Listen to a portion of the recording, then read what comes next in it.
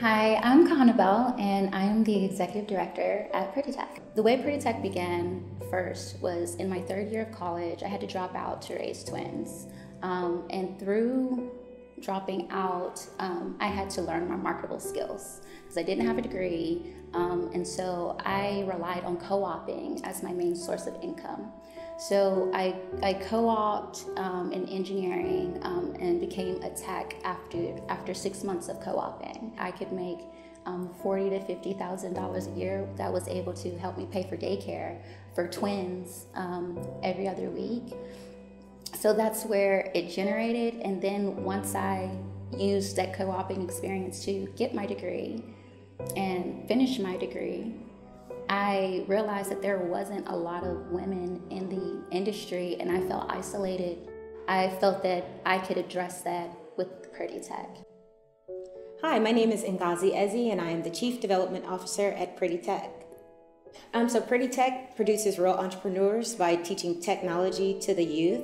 Um, we do so by training, employing, and incentivizing students. Um, our students are um, anywhere in between 11 and 12 to 18 years old or sixth grade to um, 12th graders. Um, I believe students find value in Pretty Tech um, because we are not like any other company that's out there. Um, currently, Pretty Tech um, has interfaced with more than 1,000 Atlanta metro area uh, students um, between uh, 6th grade and 12th grade. Um, we're happy to say that we're cash positive and we have enrolled as well as trained and employed more than 15 students across eight Atlanta high schools. CreateX enabled us to take our idea from an idea stage all the way to proof of concept.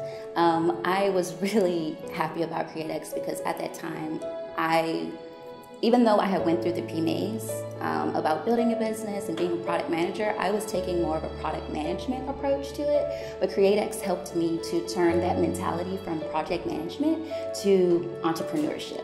I felt that that was the most valuable program that I have ever been in.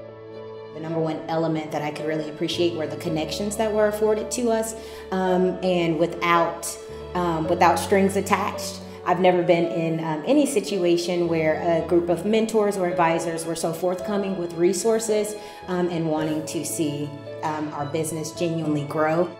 My advice to underrepresented minorities that want to start a business is to get started. All you have to do is ask the right questions. And if you don't know um, what questions to ask, find someone who's done it before because being an entrepreneur, if that's what you want to do, is the most rewarding experience.